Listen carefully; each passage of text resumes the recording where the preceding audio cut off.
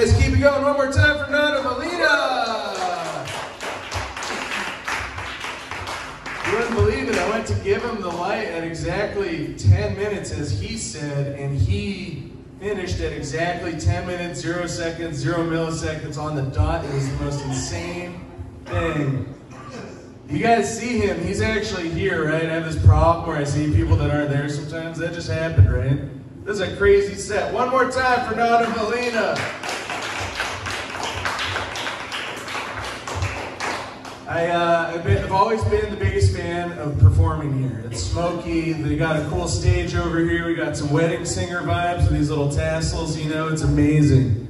Um, and uh, some of the other stuff that I would say is beautiful is like these bars.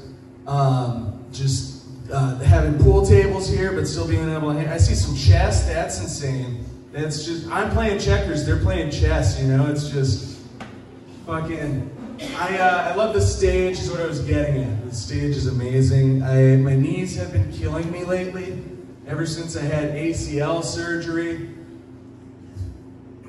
You guys know what ACL surgery is? It stands for adjusted cock length. Now this thing's so big and heavy, carrying it around all day, man, my knees are killing me. This chick took one look at it. She's like, Peter, I want to make a mold of your penis. It was like, why? It's covered in mold already.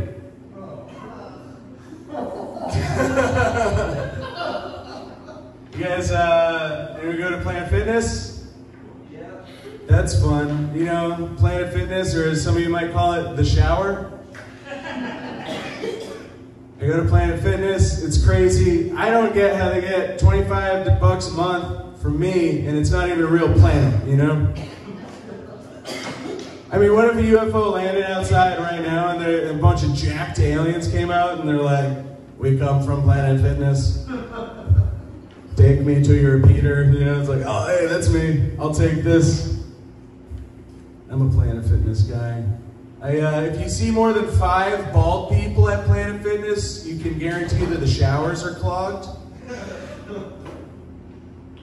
Never date a guy who goes to Planet Fitness because that means not only does he have a small dick, but he's also poor, you know? You guys are having fun. I'll bring on our next comedian. You're going to love him. Put your hands together for Jason Miles.